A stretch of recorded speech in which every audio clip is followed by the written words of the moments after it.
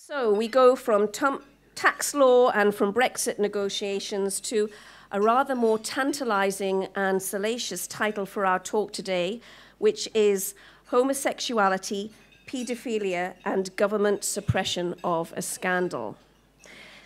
A headline that I'm sure will cause a second glance even for those who skim read our notices.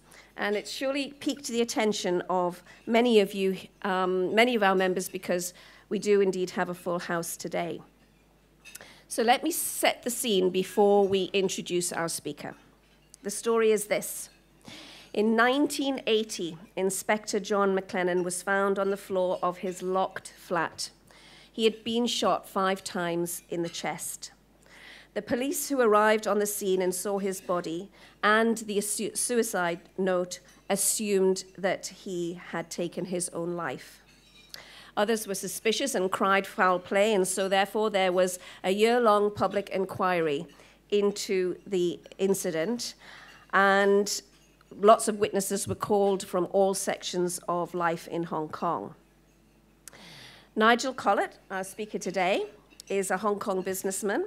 He served for 20 years in the British Army before retiring as Lieutenant Colonel, and since then has been managing director of Gurkha International, which has two companies that uh, find employment for men and women from Nepal on cruise lines and also in security. Nigel's new book, A Death in Hong Kong, which we literally just received about 10 minutes ago, hot off the press, um, is uh, what he's going to talk about today because, of course, this story didn't just end with the death of Inspector John McLennan. There were an awful lot of other things that people found out as they investigated this case.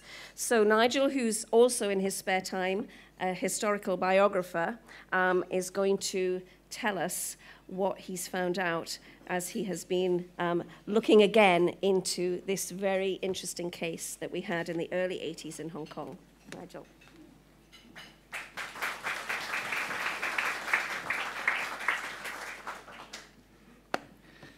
Elaine, thank you very much for the introduction, and thank you all for coming. Um, I'm very grateful to the FCC for the chance to talk to you all, uh, and before such a, a, large and distinguished audience, uh, about my new book on the subject of the McLennan case of 1980. Uh, I've had the pleasure of speaking at the club uh, only once before, in 2004, and on that occasion the subject was my book, The Butcher of Amritsar, uh, which was about India in 1919 and that resulted in my becoming a member of the club. Uh, I'm hoping that my talk today uh, will not appall you so much that uh, I have to reverse that process. the McLennan case was a very complicated one, uh, and I have only 20 minutes to discuss it, so I will concentrate on a few of the key issues to which it gives rise. First, let me give an outline of the events in the case. On the morning of 15th of January 1980, as Elaine has indicated now, 29 year old Scottish Inspector John McLennan, who was about to be arrested for eight counts of gross indecency with male prostitutes, was found dead in his quarters in Homantin. He had four bullet holes around his heart and one in his abdomen. A police revolver, which he had himself drawn from the armory that morning, was by his body. A suicide note was on his desk, and he was inside two locked doors the outside door to his flat and his internal bedroom door. There was no sign of a struggle or of anyone else in the room. Access to the flat, other than through the doors, was not impossible, but very difficult. Suicide was assumed. The intended prosecution of McLennan had come about because the Police Special Investigation Unit, the SIU, had been ordered to find information on him that would enable the police to remove him from the force. While serving in Yuen Long in 1978, McLennan had survived an earlier attempt to remove him. He had survived in part thanks to the involvement of Elsie Elliott, who later became Elsie Tu, who had brought the governor, Sir Murray MacLehose, to stop his dismissal. This had not been forgotten or forgiven in the senior echelons of the police force, and these had sought to use the SIU to dispose of him. After the death, public disquiet arose due to three factors. Firstly, a disbelief, uh, which many of us still hold, that a man could fire five single shots into himself. Secondly, the fact that there was information, for instance in the hands of Elsie Elliott, that the SIU, in trying to build a case against McLennan, had gone so far the previous year as to suggest to their informer, Police Inspector Mike Fulton, that he set up McLennan with a homosexual lure. And thirdly, information in similar hands that McLennan had alleged that he had seen the name of the Commissioner of Police, Roy Henry, on a special branch list of suspected homosexuals. This all led to an open verdict at the inquest. Subsequent calls for an inquiry, both in Hong Kong and the UK, forced the government's hand, and Justice T.L. Yang was appointed to head a commission in July of 1980. The commission sat for over seven months. Eventually, Yang reported that McLennan had indeed committed suicide, but Yang was so muted in his criticisms of the illegalities and the ill motivation that he had found in the inquiry that no policeman or official was punished for any part in the case. McLennan was bisexual and not a paedophile, but he was a casualty in a phony war being conducted by the SIU on the part of the Hong Kong government. A war supposedly being waged against named paedophiles and homosexuals in the Hong Kong establishment, but which was actually a smokescreen for hiding the scandal of their activities. The SIU had been set up in 1978 after the arrest of a lawyer and businessman named John Richard Duffy, who had been supplying teenage boys to contacts, contacts which included Sir Geoffrey Briggs, the then Chief Justice of Hong Kong. Duffy had given the police evidence of a large number of homosexuals, some of whom were involved in procuring youths, or in some cases children, from Hong Kong schools and other sources. At the time, homosexual acts were illegal in Hong Kong and were to remain so until 1991. And there was little distinction in 1980 made at the time between men who abused children and youths and homosexual men with partners over any age of consent. The word paedophilia was not current and was not used in this case. The information Duffy gave can only now be pieced together in part and there is no hard substantiating evidence to back it up. All that is possible nowadays is to find anecdotal evidence for or against his allegations. I managed to find enough to indicate to my mind that at least 50% of the names he gave were indeed those of homosexuals and possibly were paedophiles. There are four sources for sets of lists of these accused, all drawn from documents in Elsie Tu's deposits in the Hong Kong Baptist University library, or from the inquiry transcript. In my book and in this talk, I do not name the names listed, save for those of officials whose names cause particular concern to the government and which are in the public record already as having been subject to accusations. I would stress that none of them have been convicted or proved to be guilty of the things that Duffy said of them. The first of these four lists was accumulated by the New Territories CID during the course of their investigations of Duffy. They themselves told Duffy at his arrest that they had a list of named sus suspects that included a superintendent and three inspectors of the RHKP, one of whom was the prosecutor at North Kowloon Magistracy and was known to go about in drag. Three members of the judiciary, including the Chief Justice, Sir Geoffrey Briggs, an administrative officer of the Hong Kong Civil Service, who preferred boys aged 12 to 14, and a lawyer employed by the legal department who had been accused and had confessed two years before but had not been charged, his crime being that of having had sex with several, several boys aged under 14 from the Kowloon New Method School. This list did not include John McLennan's name. Duffy gave the police a long list of names after his arrest in 1978, which included an ex-police officer procurer of teenage boys named Molo Choi, whose customers, Duffy alleged, included the editor of the Star newspaper, a paper in which Choi had advertised his services as the Boy Services Sunny Bathhouse. Also, Kazi Chow, a close friend of Sir Geoffrey Briggs, who was the intermediary between the Chief Justice and the procurer Molo Choi, the then Commissioner of Police, Brian Slevin, Chief Superintendent Ron Redpath of the Police Public Relations Branch, and 12 other named police officers. Duffy also gave details to the police of a European who kept a yacht at the Royal Hong Kong Yacht Club in Causeway Bay and lived in a cul-de-sac next to the playground of the Hong Kong Sea School at Stanley with the two Europeans who owned the cage disco. These, Duffy stated, procured boys from the school and passed them, around, passed them around a group of friends. These friends, according to Duffy, included a senior executive of the Hong Kong and Shanghai hotels who lived in the Repulse Bay Hotel, a textbook publisher, formerly of Longmans, rumored to be a member of MI6, a lawyer who had become a businessman in a trading company, a prominent doctor and member of the BMA, a well-known TV personality and some other TV people, and a businessman of a property and printing group based in Duddle Street. Duffy added another list when he appealed against his sentence in 1979. The names of those he accused this time included Sir Dennis Roberts, by then the Chief Justice of Hong Kong, the then Commissioner of Police, Roy Henry, the Director of Public Prosecutions, Neil McDougall, and the head of another Hong Kong discipline service. He added the names of more police officers, including a group of inspectors, some of whom he alleged took prostitutes from the cage disco in Kowloon back to their government quarters in Wong Tai Sin, and a couple of officers who gave transvestite parties and showed blue gay movies to a large number of young boys in their flat in Grand Court, Kadoorie Avenue. Duffy did not at any stage list McLennan's name. Finally, the fourth source was SIU and SB kept records, some of which were revealed at the inquiry by its counsel, John Beveridge. There is no record of the names of these men. The SIU list included a transvestite policeman, a senior officer who was promiscuous and used to procure a regular to obtain young boys, and an officer of medium to senior rank whose sporting association gave him charge of young boys and who had been found in bed with some of them by his amah. They had the name of three police officers living in the same service as John McLennan with their boyfriends.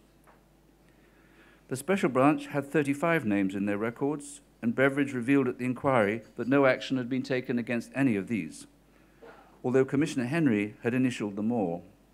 Some entries said confirmed, some indicated admission, one named the police informer, Inspector Michael Fulton, another was for another inspector known to the inquiry, and yet another was for the manager of a football team of little boys, presumably the officer listed in the SIU.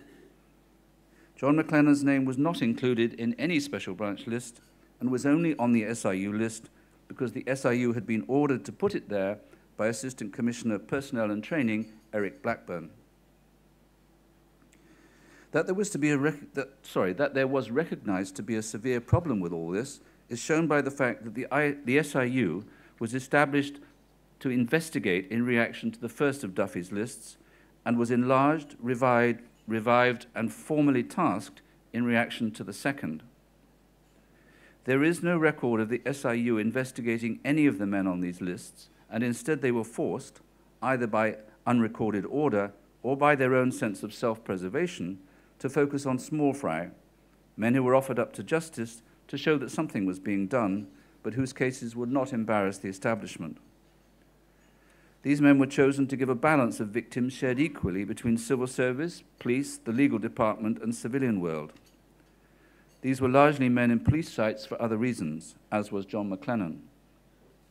Before John McLennan's death, those prosecuted included only Gordon Huttard, the proprietor of Disco Disco with his bouncer, the procurer Molo Choi, but not Sir Geoffrey Briggs' associate Kazi Chow, who turned Queen's evidence, a low level civil servant named Colin Logan, and a lawyer of the legal department named Howard Lindsay. This situation continued after McLennan's death. There is no record that further investigation into the four lists was carried out. The effect of all this on the gay community was severe the tolerant modus vivendi that had been reached prior to 1978, which had allowed gay men considerable freedom of action, evaporated. Some junior police officers who were gay lost their jobs. Gay social life closed down, and the clubs like Dateline and Disco Disco withered on the vine. An atmosphere of fear blanketed the gay community for the rest of the decade. However, in the longer term, the importance of the case to history and the present day is that it was the spur to the government's instruction to the Law Reform Commission to examine the law in Hong Kong on homosexuality. And this led to their 1983 report advocating the decriminalization of homosexual acts in private between those aged over 21. a recommendation the government finally made in a white paper in 1989 and which was enacted in 1991. I will close with a few remarks about what the case reveals about colonial government in Hong Kong, apart from the very successful cover up of the scandal in 1980. The McLennan case occurred towards the end of the process by which Governor Sir Murray MacLehose and the ICAC cleaned up the police and other parts of society. But it indicates that there was no clean end to corruption after the police mutiny of 1977. Those senior officers who were long term Hong Kong hands, and that was most of those who handled the McLennan case, had all survived the amnesty of that year. They were men who had, in the words of Judge Sir Alastair Blair Kerr and reporter Kevin Sinclair, either got on the bus of corruption or had stood aside to watch it go by. They were not men who had stood in its way to oppose corruption, and so their actions during the course of the case harked back to the old ways of doing things, ways to which Commissioner Roy Henry had finally put paid by his retirement in 1985. Lies, intimidation, violence, and tampering with evidence all occurred frequently during the McLennan case. Similarly, the corruption in the legal department and judiciary that had clearly gone in hand in hand with that in the police had hardly been touched by 1980 and would only become evident later in cases such as Carrian and the Warwick Reid cases. Chief Justice Sir Dennis Roberts' dubious part in both the McLennan case and the Carrian case is another indication of the way that the bad old days lingered into the middle 1980s. Finally, the case last casts light on the old British habit of appointing a commission of inquiry with the aim not so much as to uncover the truth of an issue, but rather to provide the public an explanation of an issue in order to bury it. The McLennan inquiry was set up to deflect public anger and to ensure that detail of the Duffy allegations never saw the light of day. It was initially staffed with figures whom the governor felt would manage it in this interest. To the governor's consternation, then fury, the commissioner, Justice Yang, and his counsel, John Beveridge, did not prove to be men who would do this. As a result, the governor sought ultimately to rein in the commission he had established by curtailing its length, by putting its sittings into camera, and by forcing the commissioner to adopt a more restrictive view of his terms of reference. It may surprise many to learn that I believe that Justice Yang su successfully resisted the governor's attempts to hobble what he was doing. But there was a price that he had to pay for this, and I believe that this was the production of an inquiry report that while it showed the wrong that had been done to McLennan and the illegal way in which parts of the investigation had been conducted, made such faint criticism that no one had to be dismissed or punished for any part they had played in the case. I will end with a few remarks about the role of members of this club in the, in the case. I would not have written this account had it not been for Aileen and Ken Bridgewater, who persuaded me that a non-fiction account needed to be written. Ken, as you probably know, published Open Verdict, his novel on the subject, a couple of years ago. Through her work in commercial radio, Aileen had accumulated a huge amount of information and documentation on the case, and they loaned me all of it. She introduced me to the redoubtable Elsie Tu, who also persuaded me that this story should be told. I am only sorry that neither of them long, lived long enough for their wished for account to be published and that they will not be able to see it now. Part of the documents loaned me by Aileen was six huge scrapbooks of press cuttings about the case, and I have based much of my book upon them. These make it absolutely clear that without the factual reporting in 1980 and the growing editorial calls for government action, calls made by the South China Morning Post, the Hong Kong Standard, the Sun, and the Star, there never would have been an inquiry at all. The excellence of reporting by figures such as Dave Hadfield and Roy Edmonds of the Post, Lionel Rodriguez, Tim Steed, Neil Hamble, and Tim Hamlett of The Standard, and Dave Malcolm and Trevor Wyatt of The Star, makes it possible now to follow and unravel this very complicated case. Without their and their unnamed colleagues' exact reporting of the testimony given at the inquiry, we would not now be able to reassemble the course of events. For the Hong Kong government has refused to release the transcript of the inquiry, and only its key elements are held in Hong Kong University Library. I would even here make mention of the late Kevin Sinclair. Friend and often mouthpiece of the police as he was, his occasional reporting of the case was revelatory of the police and official mind. Historians should be grateful to the media of the day. I fear that those studying future cases may not be so lucky.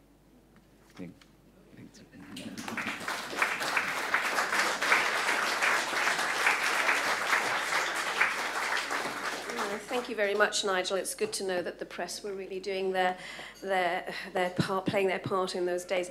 Um, murky stuff. I'm sure there are lots of questions. If anyone would like to ask a question, if you could raise your hands and state who you are and which organisation you are with, please. Yes, please. sorry. Uh, hi, I'm Vodine, England. I wasn't quite on the standard in time to cover it, but to cover the Law Reform Commission efforts in 83. So um, my question is, why were they after him already two years earlier in Yuen Long? Um, you said they wanted, they were, they had some reason to get him anyway, and they were using this as a way to do it. So, did I miss that? What no, you didn't. I didn't have time to speak of that, so it's a good question. Um, there are two possible reasons why they wanted him out of the force from the Yuen Long days. Um, John McLennan started to take um, male prostitutes back to his quarter uh, in around about the time he was posted there, uh, 77, 78. And it seems that that became known. Uh, and uh, reports were made, but nothing was done about it. And there is also another alternative explanation um, that uh, he was um, receiving packets of pay, of of money on his desk from the station sergeant, as had been done in many of the divisions of the police force uh, and had been stamped on um, in earlier times, it would appear that in Yuen Long it was still going on in 77, 78. And he took these down to the, um, the ICAC office in Sham Shui Po and handed them in. Uh, and I would probably guess that that was known within the police station, that, that something was going on like this. So he was hooked with a young man in a restaurant in Yuen Long uh, in 78. Um, and I think it is quite likely that he accepted the hook, so he had made himself um, vulnerable to what happened afterwards. Um, but the young man was brought to his table and introduced as a young man who wanted to join the police force, Chinese boy, basically, a student. Um, and John McLennan was supposed to have taken him back to his room and, and made advances to him. Exactly what happened was never been made clear. Um, he was, um, this was reported, uh, uh, the police investigated it, and at that point, um, Roy Henry was acting Commissioner of Police, and the, um, the Assistant Commissioner in the New Territories demanded that McLennan be fired, dismissed and got out of his district. And Roy Henry sacked him at a month's notice with no explanation, no redress, no attempt to appeal. And that was the beginning of the case. Um, John McLennan then was introduced by the magistrates for whom he worked at Fanling to Elsie Elliott, which seemed to him a godsend, but sadly was the reverse because Elsie, in her fiery way, got into the governor's office, wrote letters to the governor, and the governor asked why has he been fired without any um, cause and with no um, attempt to give uh, appeal. Uh, and the whole thing was stopped.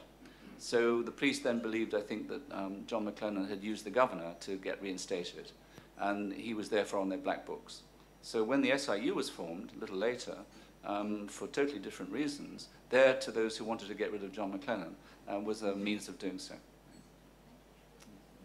Thank you. Uh, there's a gentleman on table two. Thank you. Uh, David Hodson, uh, a club member and a retired police officer. Um, I would like to say that I do not take exception to anything you've said. Um, it seems to me to be an accurate and balanced account of events. So uh, there are a couple of aspects that, that people tend to get confused about and, and are not the issue.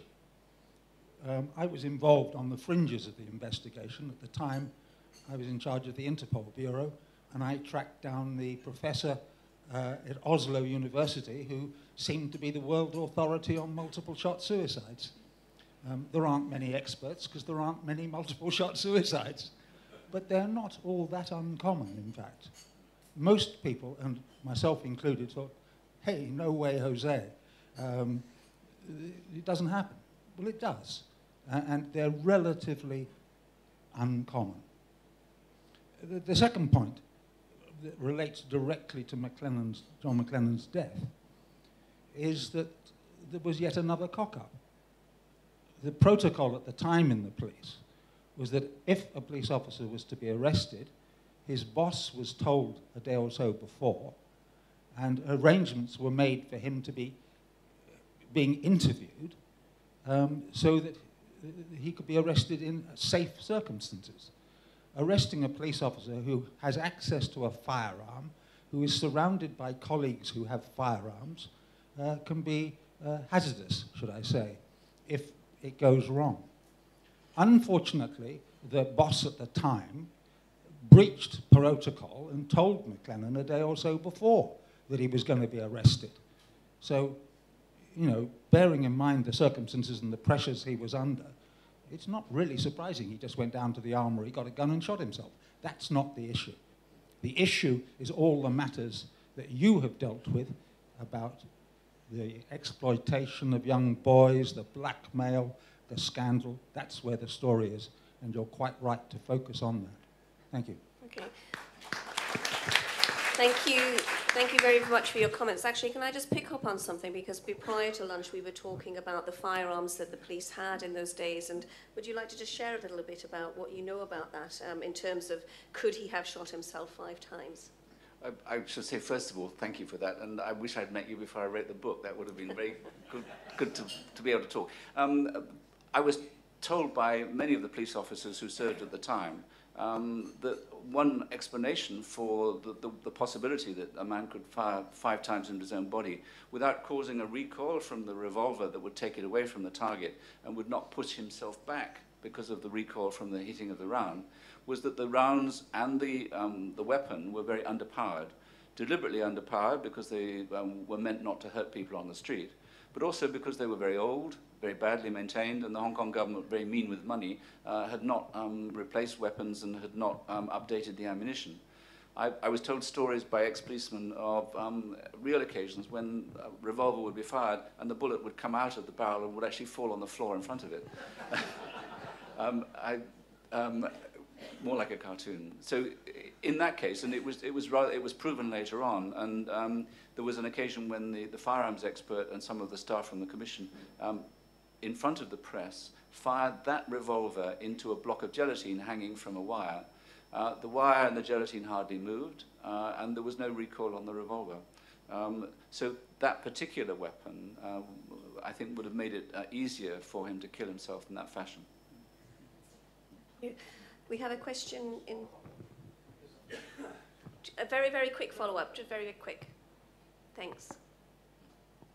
Yeah, on that point. Just a quick one on, on the matter of uh, police ammunition. It's much worse than you're suggesting, uh, simply because uh, a police officer draws his weapon and loads it in the morning. He has to then unload it when he goes for lunch, reload it after lunch, and uh, hand it in in the evening. So you can imagine these rounds are going in and out every time the guy in charge of the armory goes out of the armory, he has to hand over to somebody else. So somebody has to check. So it was the same small amount of ammunition that was going backwards and forwards and backwards and forwards. And so quite often the ends would fall out of the bullets. There was, it wasn't until later. this is all very reassuring to know. Thank you very much. Um, could we have a question on table one? These comments are great, but um, just for the sake of time, can we, can we keep them as, as tight as possible? Thanks. Okay. Nigel, first of all, Murray Burton, um, unattached. Um, I was the solicitor to the Commission of Inquiry, in fact, so I declare a sort of interest. Um, Nigel, congratulations on your magnum opus and its um, extensive research. I haven't actually seen it yet, but uh, the photograph is indeed of me, just in case you didn't know. Yeah. Um, I scribbled down a few points. Um, two of which at least have been covered by the previous speaker. On the five shot suicide, it's the question um, I get asked probably two or three times a month still to this day. It is indeed possible to shoot yourself more than once. Five shot suicide is not impossible. McLennan's weapon, which I fired into that famous block, low velocity, had no recoil at all, as they say, deliberately issued so you don't blow people away in the street. Um, even in the days without the internet, I found 12 case precedents of multiple shot suicides, so it's not impossible. Um, secondly, again, as the previous speaker mentioned, uh, police protocol was breached. Jack Trotman, McClellan's boss, divisional superintendent, a very, very kind man, uh, told McClellan the night before that he was going to be arrested by the SIU the following morning. Uh, he consulted Stephen Llewellyn, a solicitor, and told Llewellyn all about his uh, methodology and what he did with local Chinese boys. Um, Llewellyn's client privilege on that was waived by the family because the family wanted to know what happened at the, at the inquiry. So the tale was told. Um, the suicide note next was not challenged in any way by any of 14 counsel present. We got a graphologist out from the UK, an expert witness in handwriting, the suicide note not challenged by anybody on any account.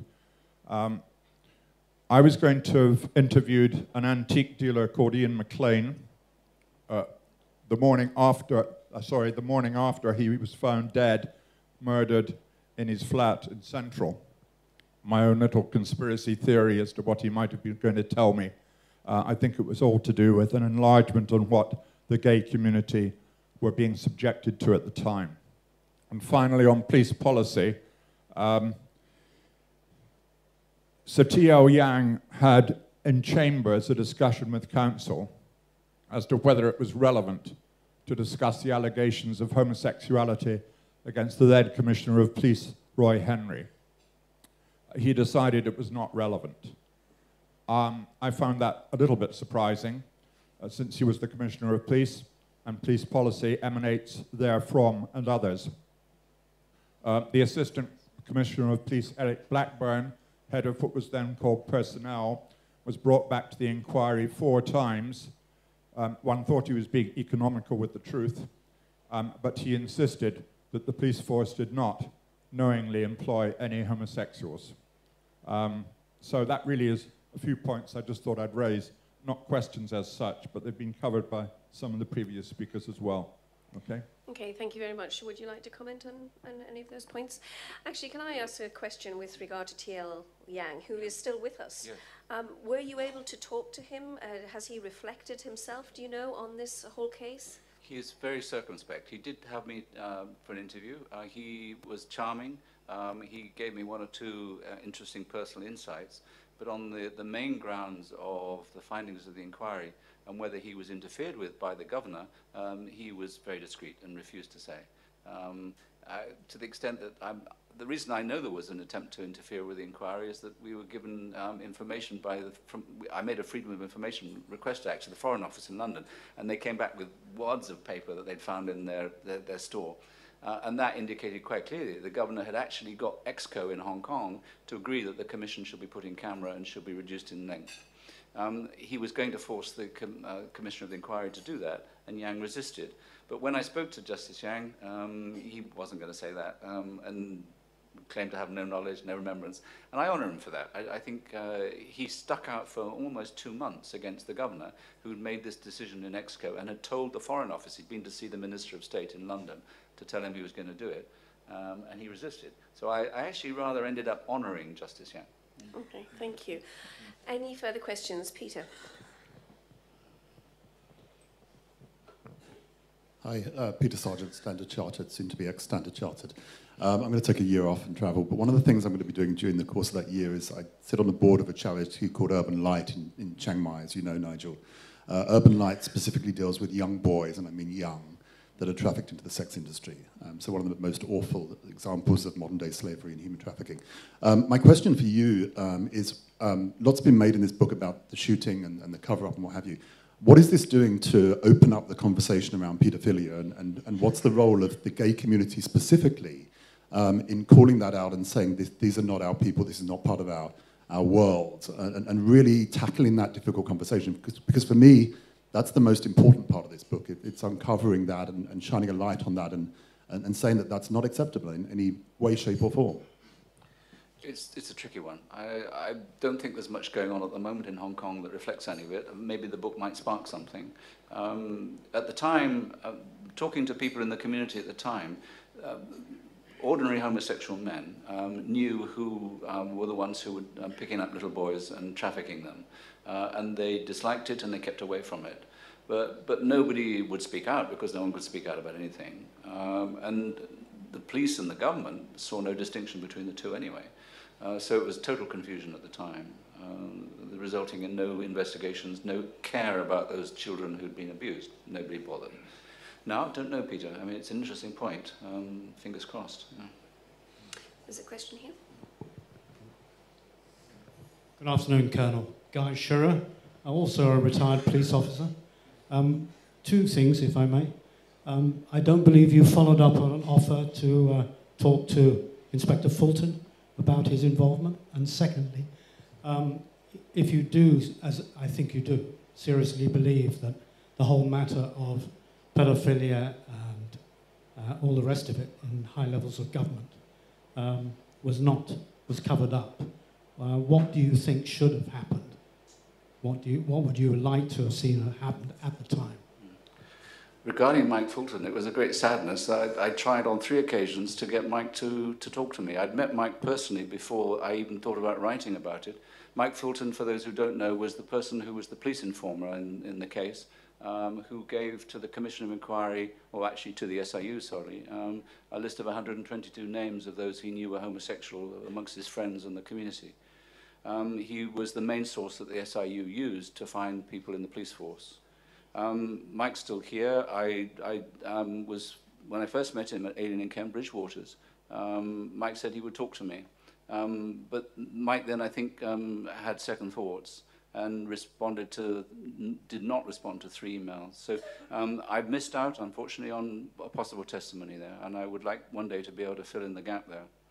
Um, as regards what I would have liked to have happened, um, I'm not naive enough to think that in those days anything would ever have happened. Um, of course, one would have liked to have seen people investigated and prosecuted.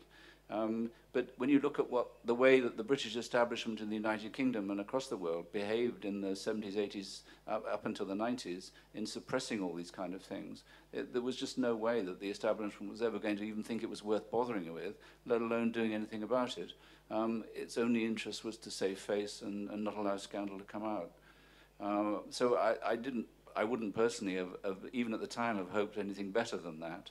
Um, I'm a very pessimistic um, person in that light, I'm afraid. Mm. One final question from the floor. Does anybody have one more question?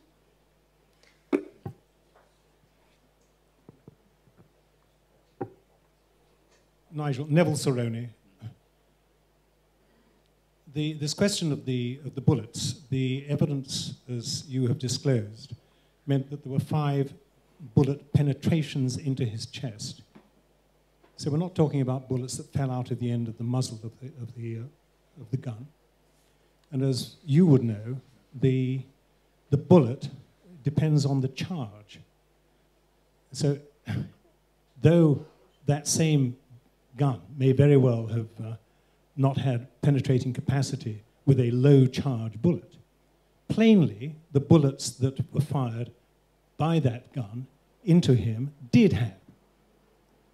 So, why, why is it being suggested that the, the gun didn't have the capacity to do what it did? The bullets in two cases went straight through the body and were found in the furniture or the walls. Um, a third bullet had gone through the body and was in his jersey, the back of the jersey.